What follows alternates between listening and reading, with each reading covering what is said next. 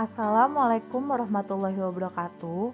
Perkenalkan, nama saya Arifatunisa dengan nomor pokok mahasiswa 2006 599915 mahasiswa semester 2 dari program studi okupasi terapi Universitas Indonesia. Pada kali ini, saya akan melakukan pemeriksaan TTV untuk mata kuliah dokumentasi praktik okupasi terapi. Apa itu pemeriksaan TTV? Pemeriksaan TTV atau pemeriksaan tanda-tanda vital adalah prosedur pemeriksaan yang dilakukan oleh tenaga profesional kesehatan untuk mengetahui tanda vital seseorang. Hal ini bertujuan untuk mendeteksi gangguan, kelainan, atau perubahan pada fungsi organ tubuh dan sistem tubuh.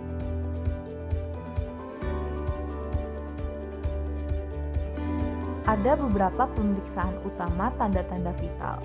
Yang pertama, pemeriksaan kesadaran, yang kedua, pemeriksaan denyut nadi, yang ketiga pemeriksaan suhu tubuh, yang keempat pemeriksaan laju pernafasan, dan yang terakhir ada pemeriksaan tekanan darah. Pada kali ini saya akan melakukan pemeriksaan tekanan darah atau blood pressure. Tekanan darah atau blood pressure adalah tekanan yang dialami darah pada pembuluh arteri ketika darah dipompa oleh jantung ke seluruh anggota tubuh manusia. Pemeriksaan ini dilakukan pada dinding arteri brachialis.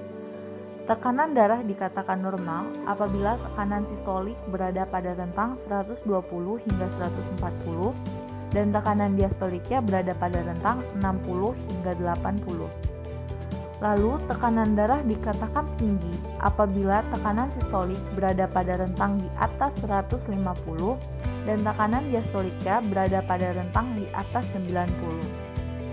Sedangkan untuk tekanan darah dikatakan rendah apabila tekanan sistolik berada pada rentang di bawah 100.